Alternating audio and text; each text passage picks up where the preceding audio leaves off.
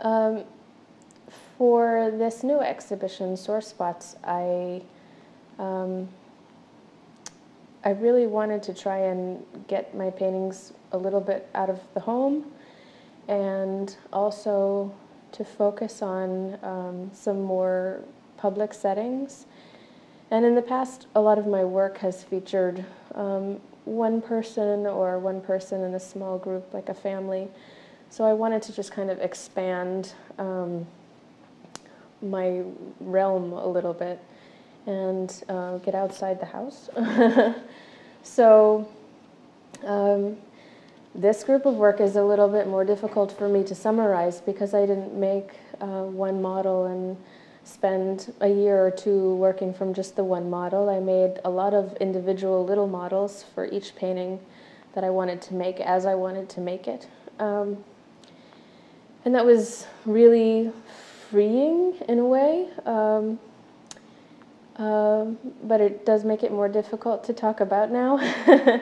One common thread, I think, that I have seen now that the work is all finished um, is kind of this tension between the public versus the private. Uh, so many of the places I've chosen to depict, like a doctor's office uh, or a church um, or a theater, uh, they're public places where you still have this very um, introspective experience, but you're with a group of people.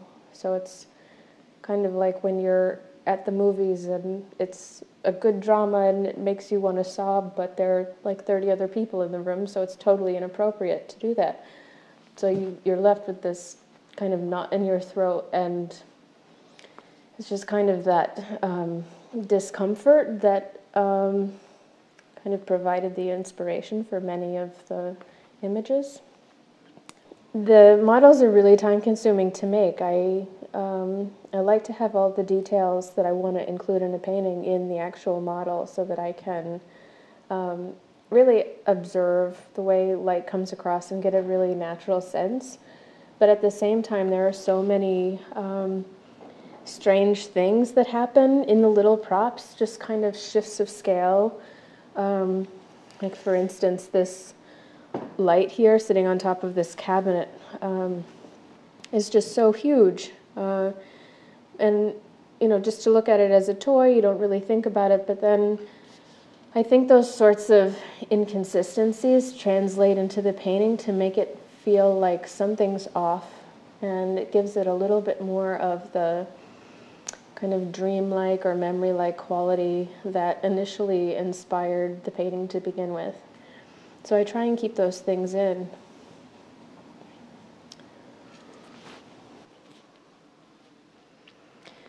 Yeah, sometimes I have um, like uh, an idea of I have this church and I'm not exactly sure what I want to do with it. I'm just trying to see what comes out of it. So I end up just collecting all of these figures that seem appropriate for that setting, and I'll kind of keep them in a group and just think about them and um, try different arrangements and see see what emerges. So that's very much like playing when I was a kid. yeah, it took me um, probably um, maybe a month or so to make the church and the whole landscape. I make the landscape out of um, styrofoam and use kind of a cheese grater handheld tool to kind of carve um, rolling hills and that sort of thing. And then the trees are reused from my lake model and before that the neighborhood model. I just love that all these little um, very modest materials like cardboard and wire and foam and styrofoam can end up creating such a convincing world. Um, and it um, feels totally worthwhile to me to spend that time um, making each model. Uh, at some point, I do start to get impatient to get to the painting because that's really the part I love the most. Um, and this gets a little bit uh, tedious after a while, and I just want to get to the reason I'm making it. um, but it is very time consuming. yeah, so this is the setup um, here with this um, little well type thing uh, for the painting uh, smoke signals, and I had a little light shining up through it. Um, and there's only one little guy left here. Um, but I had this crowd assembled, uh, and initially I was thinking about this story that was in the news about this pastor from Florida who uh, wanted to burn a Quran in protest. And it just seemed so crazy, and there were, most people I think had that take, but um, there's just been so much uh, sentiment along those lines that uh, I was really um, interested in trying to get that atmosphere, that mob crazed atmosphere going on. And um, by the time I got everyone assembled, they seemed less um, like a mad mob and more like this desperate group of people looking for some spiritual answer or um, guidance. So I actually felt much more connected to that kind of concept than the initial intellectual inspiration. So um, it's that happens a lot with the model, where I have one idea initially and I make the arrangement in 3D, and then something else emerges uh, that's more meaningful to me, and that's what I end up trying to capture in the painting. So this is the model that I made for um, the painting understudy and the monotype dress rehearsal. Um, it was quite tedious to make, to cut out all these little seats um, and have them come back into space in the right amount. Um, but I have this arrangement of chorus girls and then this painted backdrop with the illusion of more chorus girls. And I tried to paint it off to the side so that you could see this uh, understudy waiting in the wings. Um, and I just wanted to make a painting about this kind of fake trick that you would only understand as um, an illusion if you get it right from the right vantage point. So, so for the monotypes, um, I end up uh, painting on a piece of plexiglass, and a lot of them have been five by seven inches. uh, so I set it on a whiteboard um, like this, and uh, set up in front of my model. And I have to work very quickly and get the painting done within about a day's amount of work, so eight to 10 hours before the paint starts to dry, because then uh, if the paint dries, it doesn't offset onto the paper.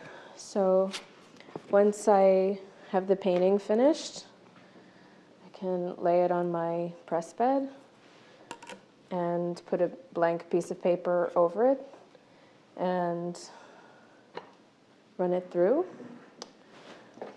And you run it through slowly so it doesn't smear my painting, although sometimes that happens, which is very frustrating after a day's worth of work. Um, and then uh, I get to see um, the painting that came off, and then I have just a little while where I can make some quick retouches. Um, and sometimes it's really exciting to see um, because a lot of changes happen in the paper, uh, the way it absorbs it or smushes the brush strokes. So there are some really exciting accidents and some that I can't live with and I have to try it again. so it's a really um, fun process for me because it's so immediate and um, it's just so quick compared to my regular painting process that might take a month or even two months on one, one image, as I can do this in a day. uh, back in 2006 or so, I think, um, I went to the Armory show um, really with blinders on to um, the names of the galleries or where they were from. And just intentionally wanted to see where I felt the connection with the work and then made a little list of a half a dozen or I think it was even smaller than that galleries and um, when I had my first show in Chicago uh, at Linda Warren Gallery, Linda was extremely generous and made a catalog for me and offered to send it wherever I wanted it to go. And um, Magnus was at the top of my list. And um, she asked, Do we really need to send this to internationally?